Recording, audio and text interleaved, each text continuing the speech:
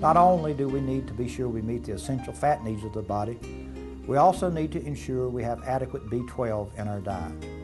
Fortunately, Dr. Michael Donaldson joined the staff of Hallelujah Acres a few years ago. Dr. Donaldson is a graduate of Cornell University with a PhD degree in chemical engineering. One of his early projects was a study on the B12 issue. He took a group of folks that had been following the Hallelujah diet for at least two years. Out of this group of folks, he found that almost 50% of them were deficient in vitamin B12. In looking at the research, he began wondering why were some folks deficient and other people were not when they were eating a very comparable diet.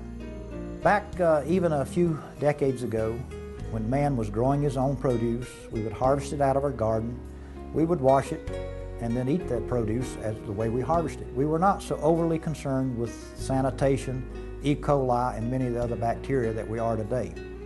Today our produce is commercially grown, it's been grown in soil that has a lot of chemical additives added to it.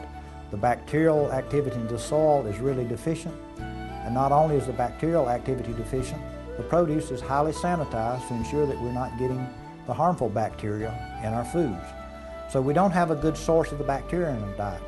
Even a few decades ago, people were drinking well water and spring water, and they were getting bacteria into the body that kept the friendly bacteria built up.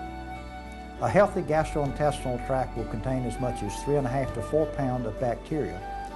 The friendly bacteria should be predominant, but unfortunately many people are deficient in the friendly bacteria and as a result of that, they're deficient in vitamin B12. So the best way to ensure that we don't develop a B12 deficiency is to use the methylcobalamin form of B12 in a sublingual supplement.